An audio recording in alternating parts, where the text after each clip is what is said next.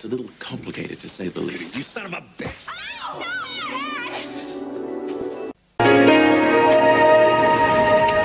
Bang! Well, you had it coming, Johnny. Hank, take it easy, all right? Ben, are you okay? Ben? Uh, fine.